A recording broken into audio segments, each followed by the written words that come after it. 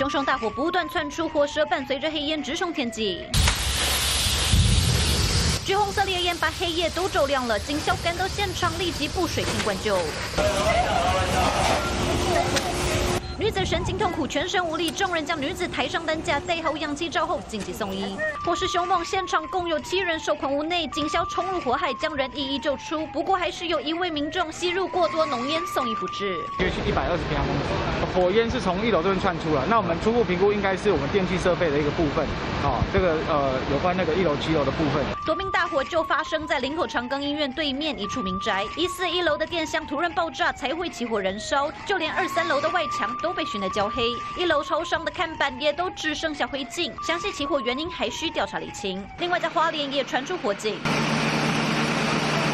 巷弄内浓烟密布，警消人员不多条水线灌救，同时搭梯子到二楼将受困民众全都救出，其中有两人呛伤，紧急送医。所幸火势很快就扑灭，没有造成死亡。记者刘志展、刘启娇、王云婷桃园花莲采访报道。